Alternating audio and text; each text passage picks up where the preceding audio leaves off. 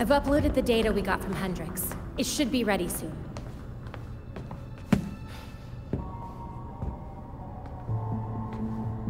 I've seen Bruce make that same face when he got stuck on a case. What's on your mind?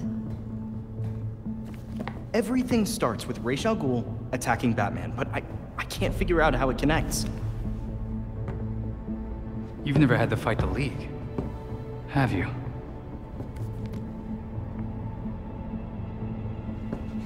Ra's is... was a fanatic. He formed the League of Shadows centuries ago, to root out corruption all over the world. His philosophy, if you want to call it that, is that he should destroy things to build them back up. He's wiped out multiple cities over the centuries. He set his sights on Gotham. Batman stopped him. He was impressed, so he named Bruce his heir. That suddenly. Even though Bruce said no thanks. But it meant Ra's left Gotham alone. That is until he showed up and... Bruce.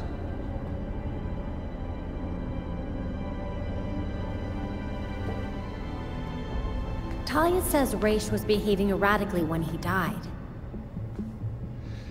Yeah.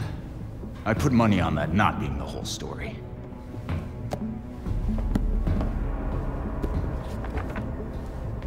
Hang on.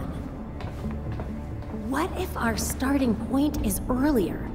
Batman died while he was investigating the Court of Owls. You think Ra's found out about it?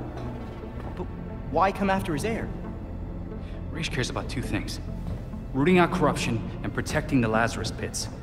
So if the court was using an extract from the pits to create Talons... Ra's blows a gasket, steps in himself. Things escalate. Both he and Bruce end up dead.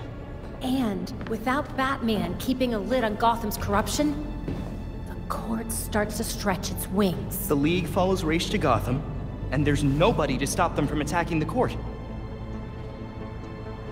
Gotham City becomes ground zero for a goddamn war.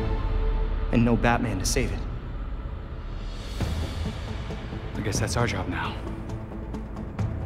Yeah. It is. And we know what we need to do. We root out the court. And we keep the League away from Gotham.